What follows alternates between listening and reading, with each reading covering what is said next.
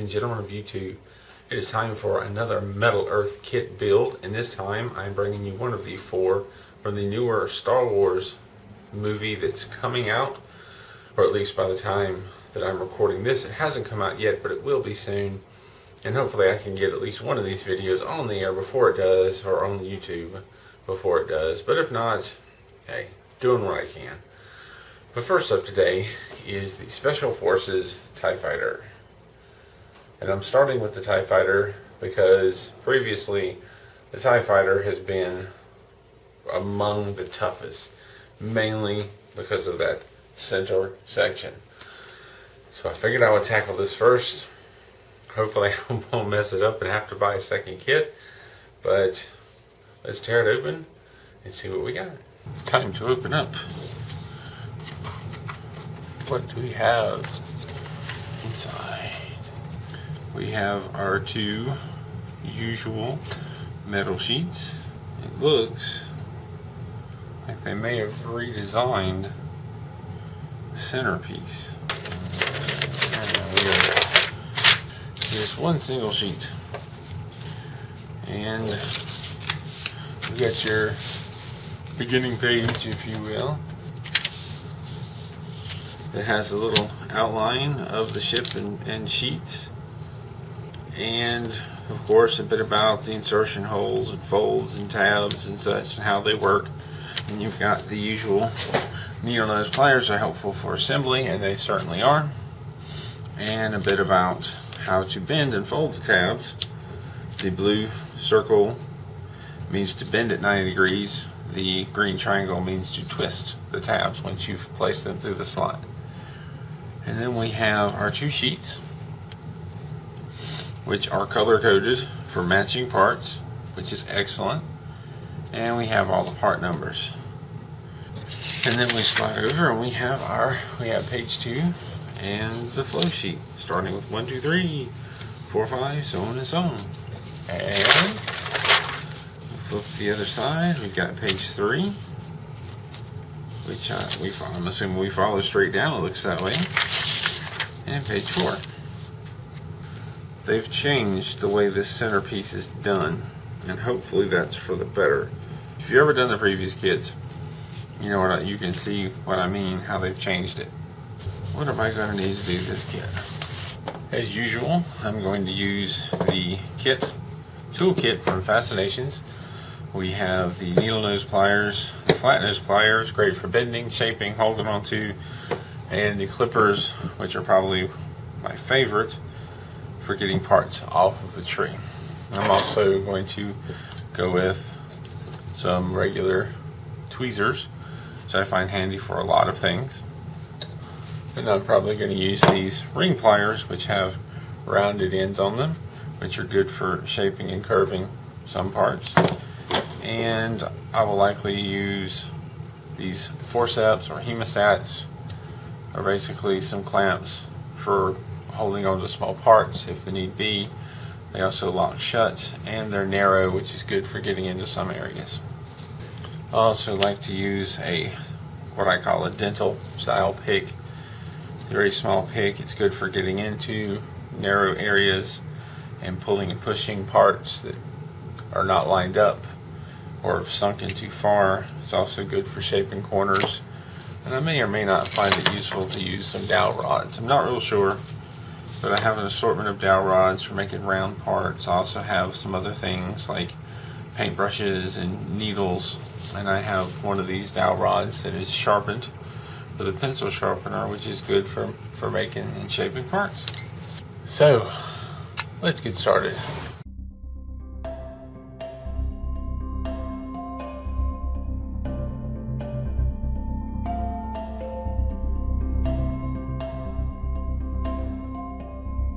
Start off this kit working, folding, and attaching tiny pieces.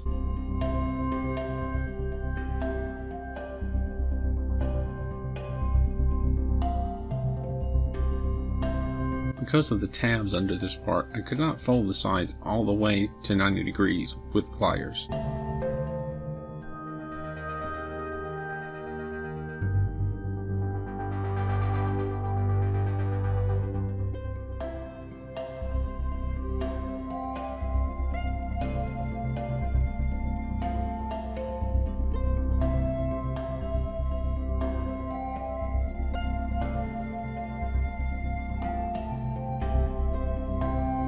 This part is not curved round, but more of a polygon, with many flat sides. Yet it is still helpful to use a dowel rod to help bend all the sides evenly and quickly. Also, the instructions say to twist the tabs that hold this part on, but there was no room for tweezers or pliers. I opted instead to bend them over with a knife and pinch them down with pliers or clamps.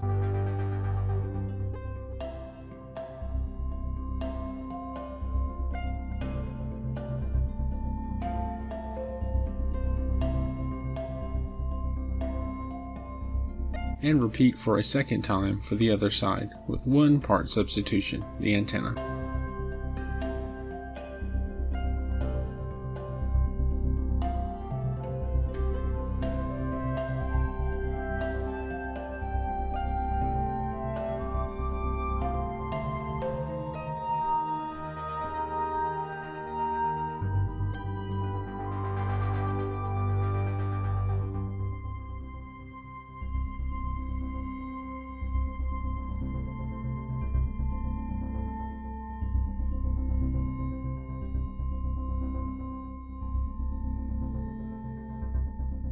The way this center cabin part comes together is very different than the previous TIE Fighter kits, and far easier.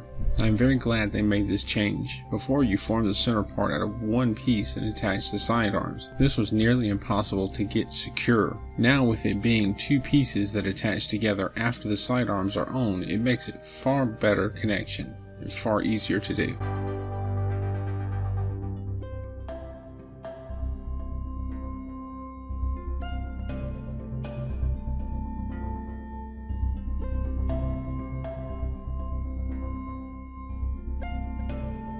One thing I did not anticipate needing was a marble. The top and bottom pieces of the cockpit area need to be curved a little and the marble is perfect for it.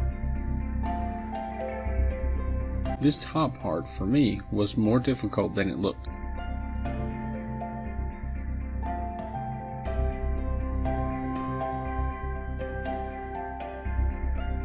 When you have parts that are curved or bent over at odd angles, it helps to bend all the tabs facing towards the next part. This makes it much easier to line the tabs up for assembly.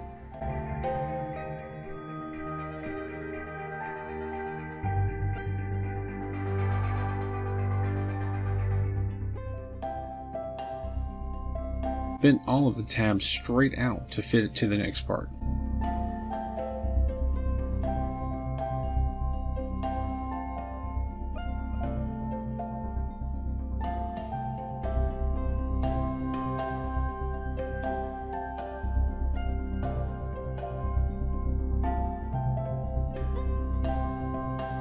One of the thruster cones flipped out of my hand and disappeared. I searched all over the table and under the floor beneath it to no avail. Oftentimes there are extra pieces of those small pieces, but not this time.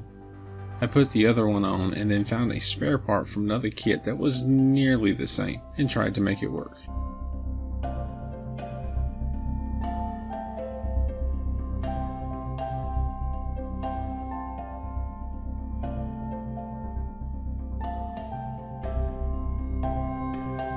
There are some tabs from previous parts that may get in the way of the thrusters. Just bend them over out of the way.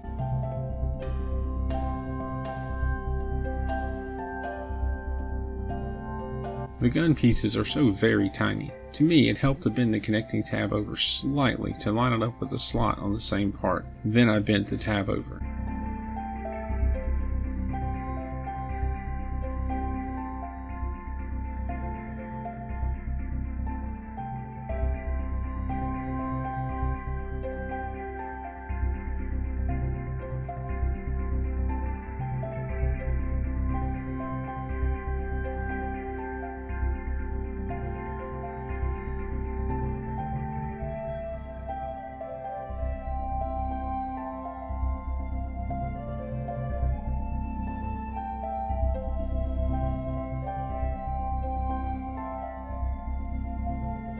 I used pliers to hold the edge behind the tab steel while I bent the tab. The metal is so thin that it would likely bend to the wrong place, and I have had that happen before. These two pieces have a lot of repetitive folds. They are not hard, but time consuming.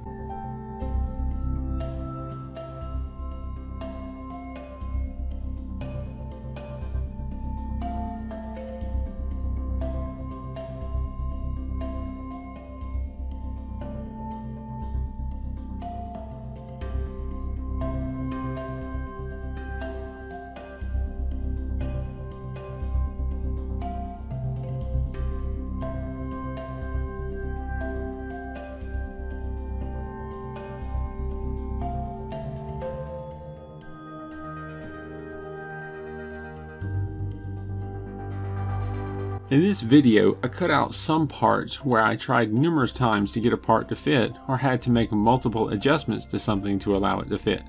I try to show a little bit of everything, but sometimes you may see in a video that I make one or two adjustments, when in reality I made many more.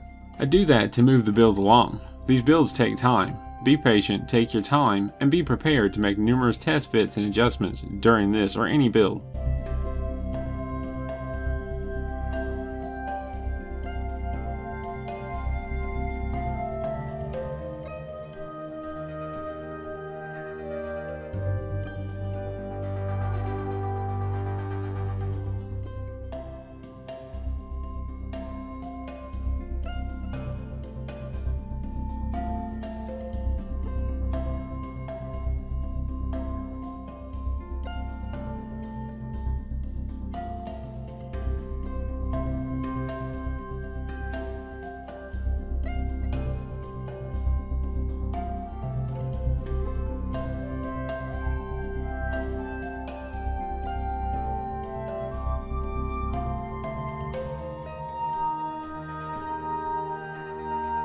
I used my fingernails to bend over the tabs holding on the solar array.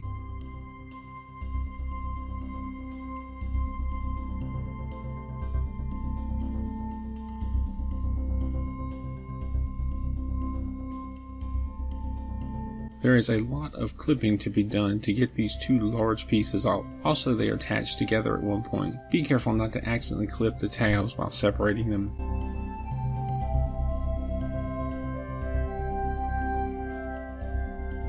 These sides are not 90 degrees. Remember to bend the tabs the rest of the way so they will line up.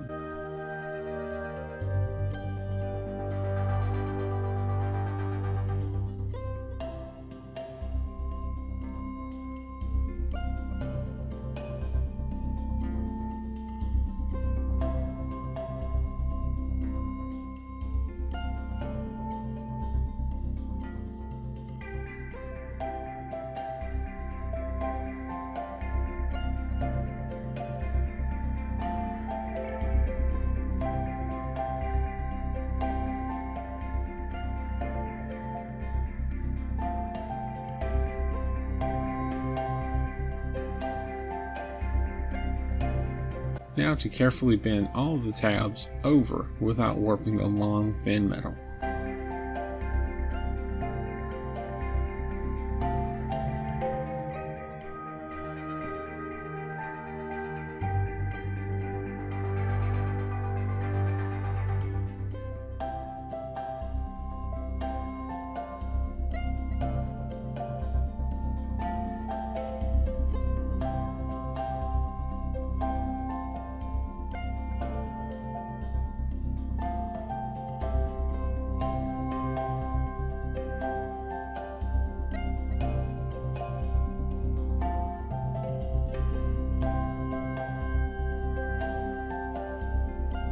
I find it interesting that the stand is not directly tied to the model. This is the first Star Wars kit I have seen like that.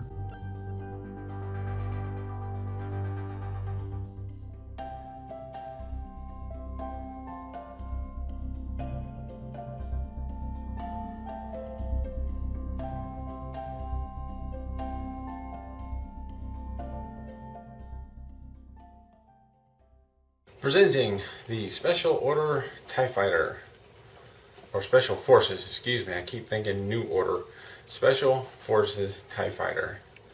It's very similar to, in size, to the previous TIE Fighter, but it has different detailing on it. This was a fun build for me, and I miss doing the Star Wars kits. I'm looking forward to doing even more. There's quite a few out there that I haven't done now. They've released several lately, and the new movie is just about out. The stand is separate, which I think I mentioned in the narration. It's not not very complicated. There's some tough spots with trying to get the top and bottom here to fit properly and playing around with the curve of the the center cockpit to get all the tabs to fit. But all in all, this has been one of the easier kits I've done in a while.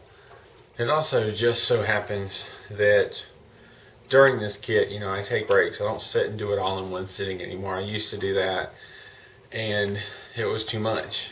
I'm in a position where I can leave it unattended and nobody bothers it. So I can take my time, which has given me the opportunity, or excuse me, which has allowed me to make better kits because you really have to pay attention, take your time, and examine everything because the instructions are not always crystal clear.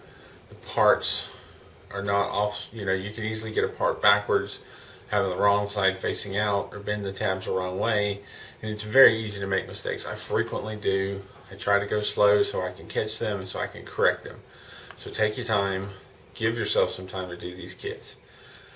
But in the midst of doing this kit, during one of the breaks, I went to the store and I happened to find some very small forceps or hemostats, locking clamps, whatever you want to call them. They're considerably smaller than the ones I already used, and they came in extremely handy for this kit because there were so many tabs inside that little cockpit that I had trouble getting to that these were perfect for. So it was a blessing that I found this just by chance and picked it up and was able to use it during this build. If you have any questions or comments, please leave them down below. Any special requests, and I can try and work them in. Thank you for watching, and keep on keeping on.